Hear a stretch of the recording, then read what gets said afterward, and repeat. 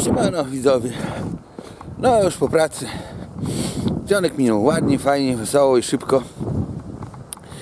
Cóż, dzwonił do mnie niedawno. Był redaktor.